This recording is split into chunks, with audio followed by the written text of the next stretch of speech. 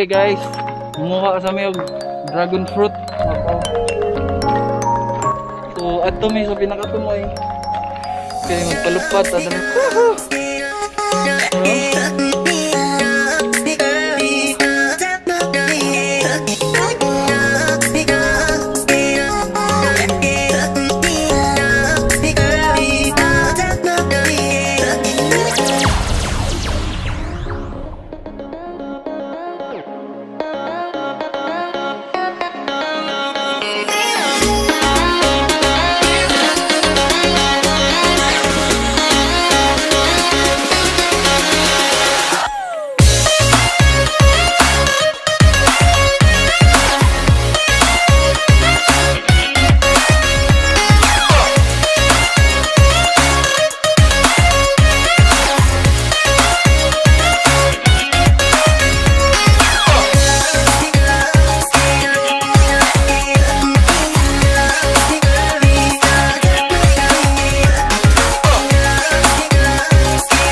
everyone, welcome to the Fascination Farm and um, for you guys to get the updates about our farm, just um, follow, I don't know how, how it works, but just this is our official page and this is the Fascination Farm.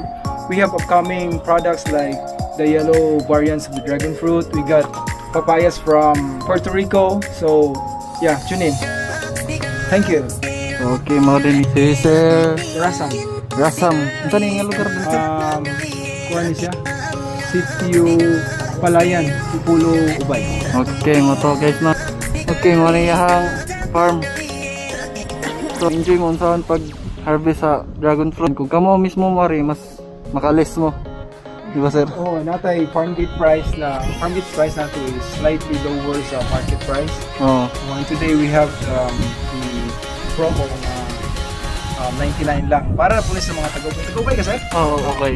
dito yun ako muna nga para sa taga-ubay kay siyempre um, favor ko na kay ubay man nga to ang farm Oo. 99 the first 3 kilos and um again follow mo sa page guys every week ang among target is na may promo Oo. let's say kung mag-harvest mo sa mga Australian gold na variant sa dragon fruit mo post mo sa official na page and then the first 10 people Oo. nga maka-book or manhi mo rin maka-avail but today kuan man ta like municipal wide ka nga pwede mo rin dire Ah, okay. But daghan pa ta kayo, we're just in the probably baby stage sa ato ang farm and dako pa kay plano. So hopefully makita-kita ta nyo diri sa farm.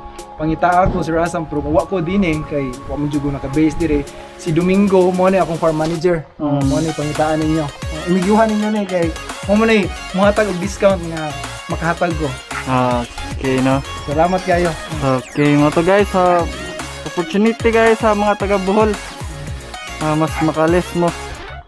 So, thank you guys sir. Salamat po guys sa Thank you sir. Oh. Ah. So, mauna niyo ang mga palit guys. Mga 10 kilos.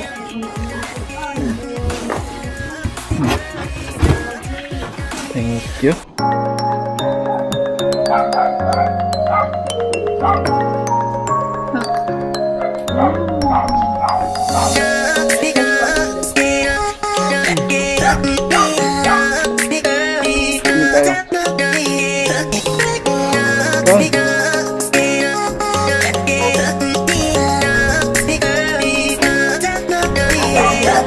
Subay.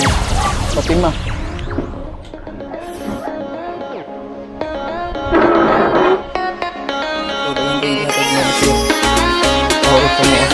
So guys, kung muari mo dire, kung nasi sa Rastam, or yung pilinan dire, grabe kayo sa butan sila dire. So napay free taste pakaunon pa ka.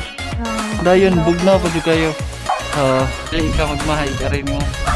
Very, very accommodating kayo sila dire na. So, lamig siya. Then, good for the body. Then, fresh pa yun.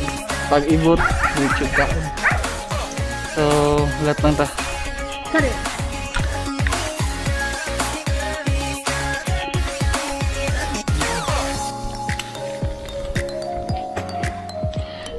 Pag, ayun, kanina galimti on saan pag harvest sa dragon fruit ha, kung kamo makaanhi mo makaari mo diri or bisag asa nga na dragon fruit din kamoy paharbison sa tag-iya. Kung gusto mo mapalit ang pag sakto nga pag harvest sa dragon fruit is dapat na kay cutter ano yan siya? Then ang pag-cut nimo wala may makakapot sa, sa dapat for example for example kani Asia yung man siyang kuhan dapat mag-cut ka. Pinaan na tuwad ang imong cutter na as mabaw dayon. Dayon. Ana ang pag-cut niyo diri siyang tumoy. Hindi maigo ang bunga. Ana. Once na, na kat nanti mau ఉపయోగం galon nah. Oh. Mana oh? orang.